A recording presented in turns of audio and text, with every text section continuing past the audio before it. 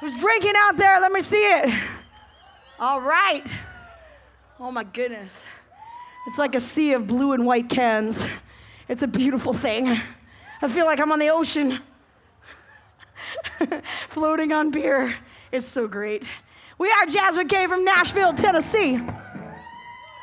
We are voted Nashville Industry Music Awards best live performers this year. So we're trying to live up to it. We're gonna guys, we're gonna give you all we got, like these guys said out earlier. Balls out. Can we say that? Balls out. That's what we're gonna do. Here's some heart. Balls out.